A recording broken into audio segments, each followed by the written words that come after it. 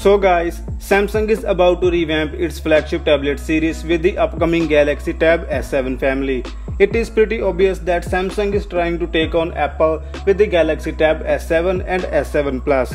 Based on some information that has surfaced, it might be one of the first devices to be powered by the Qualcomm Snapdragon 865 Plus chipset.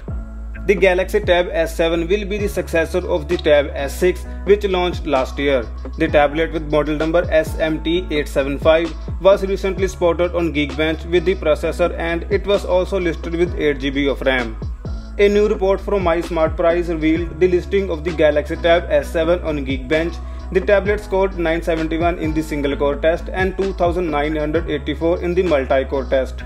Under the hood, the tablet is said to be powered by an octa-core chipset with base clock speed of 1.8 GHz. As per the report, this will be the Snapdragon 865 Plus chipset as one of the cores is clocked at 3.09 GHz which is significantly higher than the Snapdragon 865. The Tab S7 Plus is set to come with a 12.4 inch display with AMOLED panel. It is rumored to support a massive 9800 mAh battery and also featuring 5G connectivity. We can also expect the LTE and Wi-Fi variants and of course they should come with S Pen stylus.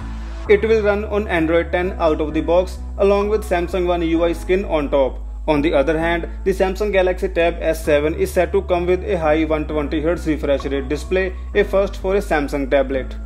Powering the tablet will be a 7760 mAh battery.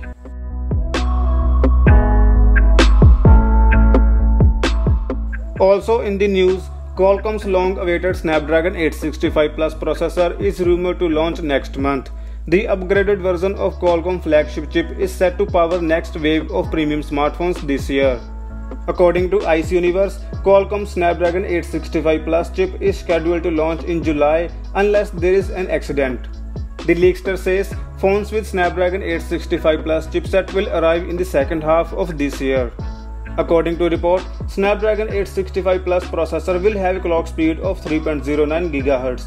This will be an incremental upgrade from Snapdragon 865's 2.8 GHz. Other details about the Snapdragon 865 Plus processor aren't known yet, but it's safe to predict it will bring better performance, improved camera capabilities, enhanced machine learning and more.